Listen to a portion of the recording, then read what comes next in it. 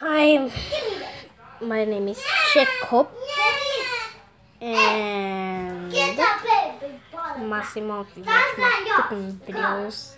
Hello. Bruh. My grandma passed away.